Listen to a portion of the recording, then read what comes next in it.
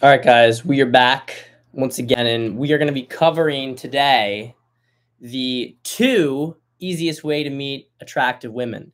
Now, I'm not going micro in this video because I know, you know, we could talk about online dating, which is not the easiest way to meet attractive women. we could talk about cold approach. There's all sorts of different ways to meet attractive women, but we're talking about right now is philosophies okay, philosophies. And this way of doing things mirrors the two primary ways that men and women organize themselves, which is in patriarchies and matriarchies. So, the two approaches the first one, and the first one, it's very obvious, right? It's very obvious. But you need to put yourself in locations where attractive women are. So, what this means is that as a man, you are going to surround yourself heavily with women. So that means doing things like uh, get going to you know yoga classes, dancing. Um, you might want to uh, work at an animal shelter, do some volunteering work. Uh, gain a dog's great. Women love dogs. It's a great way to meet women. Also, the dog helps to start conversations. But the point here is that you put yourself in an environment that women are going to be in. Now, this can be totally fine. Can be totally fine if, if as a man, this is the approach you want to take. Um, but what I will say about it is that it also is where a lot of predatory men go. So if you're a guy, for instance, who's hanging out in, with some women's rights feminist circle, you're probably a, a predator, probably a predator, um, because that's where a lot of those guys will go because they know there's a lot of women there and they can be the wolf in sheep's clothing.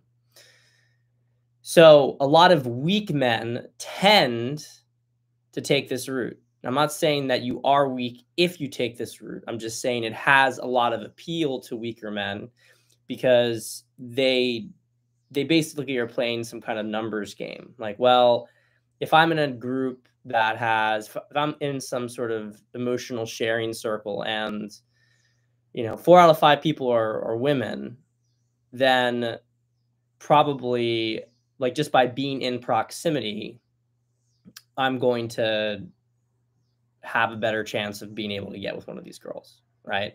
If you're working on an animal shelter and it's mostly women who are there, if you're going to a dance class, it's mostly women there. If you're the the guy there, one of the few guys there, and especially if you're one of the guys there who is masculine, who knows some understanding of game, how women work, then you're going to stand out dramatically because you you have an advantage in um, just the demographics. So it's a smart strategy. I don't want to knock it and say you shouldn't do it, but it is also a pattern that guys who go to this stuff, um, if they don't have any other male friends, they're only spending time around women.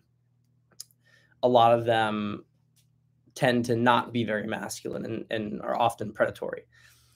The other route to meeting attractive women is totally different and that's competing rather than trying to hang out in the matriarchy and get some sexual scraps from the women who you know while you know you're around these attractive women so it makes it easier for you to talk to them. They feel more comfortable with you so you're able to sleep with them. That's the matriarchy route the other route is like the patriarchy route i guess you could say. And that involves you becoming a man of status and power. So that what happens is that women come to you or your requirements, you know, you being able to to talk to these women is much easier um, because you're so heavily pre-selected so this would be the route of of going to some sort of um, you know lifestyle guru or whatever um, to to to show that you're living a really cool life, that you know people and to convey to women that you're in a high status position. And so when you're in this high status position, women want your lifestyle, they want your connections, they want to spend time with you and of course, you know, they you're often exuding some sort of masculine aura because even other men are following you, right? You're in a leadership position, you're in an influential position. So, because of the proximity to power and the access that you have, women are going to, you know, they'll message you, they'll come to you. And so, this strategy would be, um, you know, use leveraging your Instagram account, for instance, to pull, um, to pull, you know, and conveying a really cool lifestyle so that women are going to be be drawn to that. Um, it it's also, you know, the issue with this approach, though, what, what I'll say, its downside is that you you have it's almost like first off, you, like if you're not leveraging social media with it, then you're really missing out because in order to become a high enough status man that women are going to notice, if you're not using social media, then it's very, very difficult to convey it because you're too anonymous. So you'd have more of a, um, you just get lucky that you went to an event and you met another important guy there, or maybe there was a woman there and she saw you.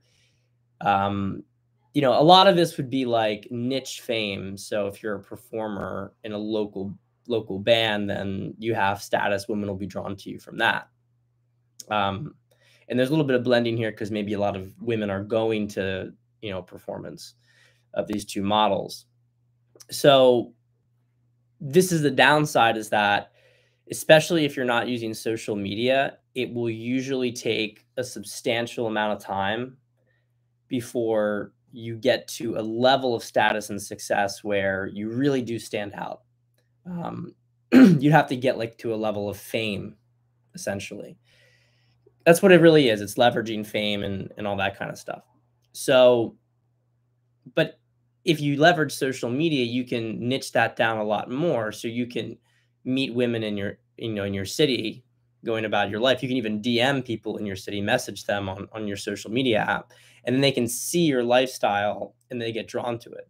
But the point here is that in this case, you're you're creating like a lighthouse that women are going to come to you. And in the other case, you are putting yourself in locations where women are. So it's really like you either make the women all the women come to you or you go where the women already are. That's the two primary philosophies. And of course, like we said at the beginning of the video, you can really niche down if you want to here because there's obviously different modalities to meet women within these two philosophies and the two can and arguably should be blended. I'm not saying do one or the other. But you do want to think about this stuff from the very outset because for some guys, they don't have much of an like they're very good at talking to girls on an emotional level. They're good at connecting with women um, they're not like big lifestyle individuals. You know they're they're not going to benefit a lot from taking the lighthouse approach. They're going to it's going to make much more sense for them to start to do activities that women do that attractive women do. And just by being in proximity to them the women are going to they're going to know how to talk to women. They're going to be able to get access to these women that they normally would not be able to get access to were they not excelling in that little environment. And that's how they'll be able to pick women. For other guys who really have no interest in activities that women do and are really focused on on business and a more you know traditional masculine path of sort of you know resource and power accumulation you definitely want to go the other path where you become someone that women want to be with and you just simply make sure you're using social media to market yourself accordingly. So those are the two philosophies, the two major strategies in order to meet attractive women. And I hope you got some value out of it. If you did, like and subscribe to the channel. And don't forget to check out the links below, uh, working with me, getting my masterclass, And of course, sign up for my email list. It's totally free. You get a copy of my book. Check the links below.